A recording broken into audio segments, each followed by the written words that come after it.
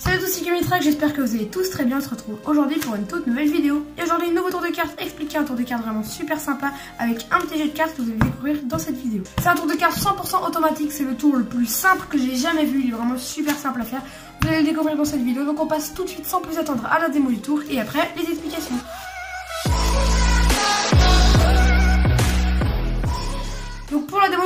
On aura besoin d'un jeu de cartes, que des cartes différentes et mélangées, voilà, juste ici.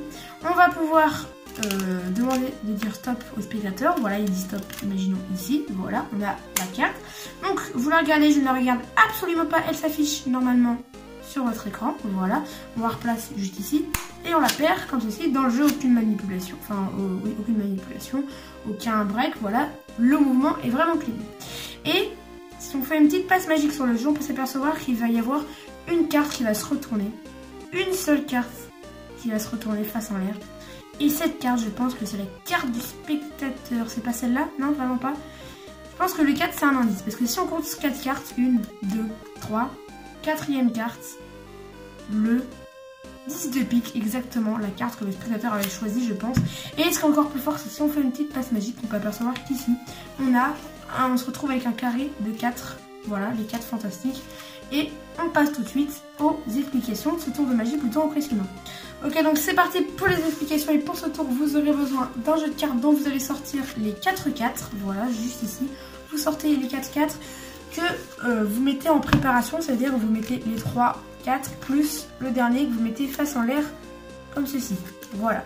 Et on place ça dessous le jeu. Ce qui fait que vous avez votre préparation tout en dessous. Donc, faut pas trop flasher le 4. Faut pas trop aller vers la fin pour pas flasher le 4 qui est face en l'air. Et après, ici, on a les autres 4. Voilà, et vous êtes prêts directement à commencer le tour. Il n'y a pas plus de manipulation que ça. Donc, vous présentez votre jeu sans aller trop à la fin pour pas flasher le 4.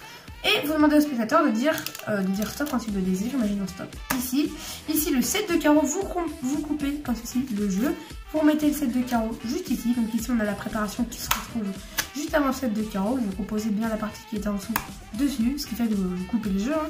Et là, vous allez faire une passe magique et vous allez voir, il y a la carte normalement, le 4 de carreau qui se retourne. Voilà.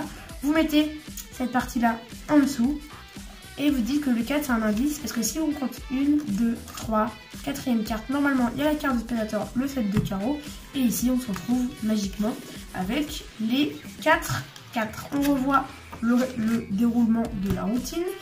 La préparation en dessous, spectateur choisit une carte, voilà, on coupe, on la remet ici, hop, on va voir passe magique, hop, il y a les cartes qui se retournent juste ici, on place cette partie-là bien en dessous. C'est pas la carte, en fait je crois que le 4 c'est un indice parce que si on compte 4 cartes, la quatrième c'est le 2 de carreau, la carte que le spectateur avait choisi et on se retrouve avec les 4 4. Et donc voilà, c'était le tour de magie. Donc voilà, c'est un tour de magie vraiment hyper simple, pas besoin de s'entraîner, vraiment c'est super cool à faire. Avec une petite préparation au début, mais vraiment rien de bien méchant. Ce tour de magie, c'est vraiment une bombe.